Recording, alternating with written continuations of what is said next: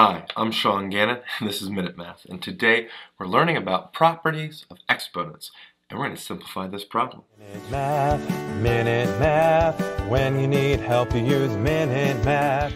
2h to the third power, j to the negative third power, k to the fourth power, all over 3jk, jk. I don't know if anyone still does that. So, let's look at our coefficients, 2 thirds. Well, 2 divided by 3, 2 thirds. Can't simplify that anymore. All right, let's keep going. h to the third. Anything in the denominator to simplify with? Nothing really cancels out. We keep h to the third in the numerator. All right, got that done. Now the j's are next.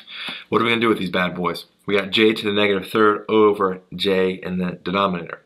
Hmm, how do we simplify that? Well, negative 3, and this is the first power. We subtract that, right? Let's look at the j's. Remember, with division, we subtract the exponents. Negative 3 minus the first power, that's right there for the j.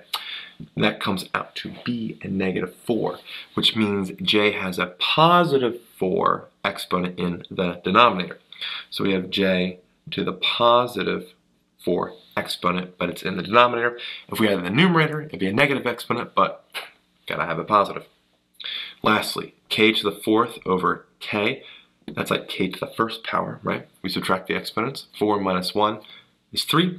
So we have k to the third power in the numerator, but now we're done. Nothing else that we can combine. So our final answer is 2h to the third, k to the third, over 3j to the fourth power. If you found this video helpful, please subscribe to our channel and like this video. This helps us make more free math lessons for you. And as always, thanks for watching. Minute Math, Minute Math, when you need help you use Minute Math. Minute Math, Minute Math, when you need help you use Minute Math. MinuteMathTutor.com